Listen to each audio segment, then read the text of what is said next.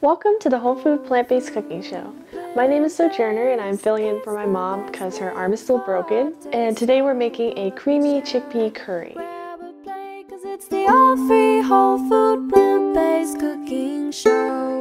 So, the first thing we want to do is to cook the onions and the garlic down.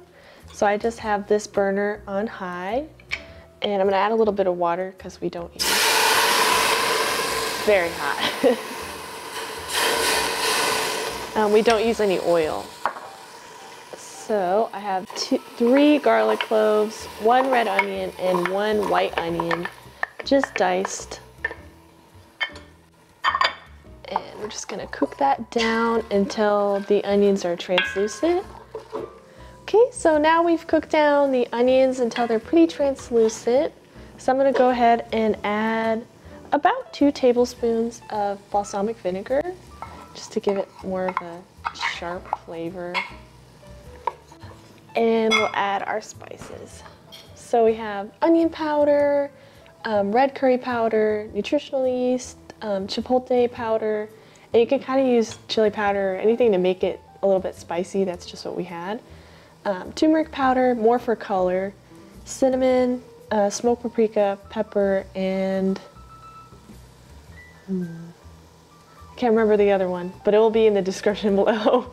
Too many powders. And just add that in with your onions. Cook it for a second.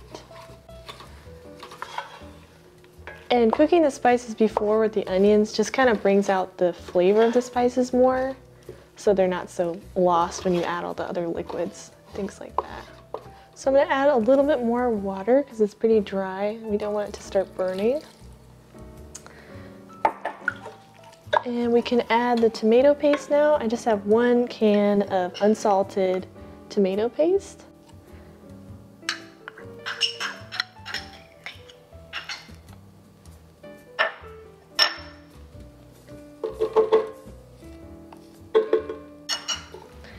And just stir that all together.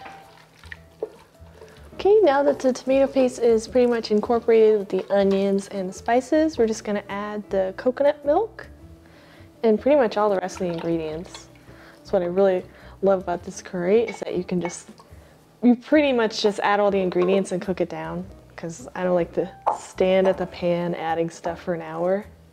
And then we have one, it's one box of tomato puree, um, but you could just use a can. I think the measurements are a little different, but either way, whatever amount is still gonna taste really good as long as you just cook it down.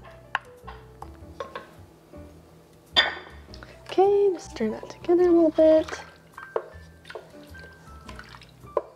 And now we have three cans of chickpeas. They're also unsalted. We try to just use unsalted for everything canned and just everything in between and also some raisins. It's about a quarter cup of raisins. And lastly, some Braggs. And if you're trying to do SOS, the salt um, free cooking, then just leave the Braggs out. I personally eat a little Braggs just because I like a little bit of a salty flavor, but we try not to eat too much of it. So just about a teaspoon of that. And you're just gonna let this cook down until it's pretty thick, um, just like a nice curry consistency, and then we'll add the kale from there because that just pretty much needs to wilt. It doesn't really need to cook down. So we've cooked down the curry for about 20 to 25 minutes. Um, it all depends on how you like your curry. My mom likes more of a saucy curry. I like more of a thick curry. So, you know, just adjust it. It might be 10 more minutes if you like a thick curry but this is a pretty good in-between. And the last step we're gonna add is kale, and we have baby kale, which I really like to use because it's more of like a spinach consistency. If you use fresh kale, it just takes longer to cook and it's kind of chewy. So this is just super soft. So I just, will, I'm gonna add the whole box. It's probably about three cups of baby kale. And that will just take a few seconds to cook down. Okay, so we've let our kale cook down for probably a minute or two, just till it's soft. So I'm just gonna scoop a little bit out. And taste it. just gonna taste a little bit of the sauce because it is boiling, boiling hot. Mmm, really good. Super creamy and, you know, super customizable. You can make it more spicy, you could make it more, you know, mild, whatever you like. Add different vegetables, add different greens. So this is kind of just like my easy go-to curry that doesn't take too long. So hope you enjoy it.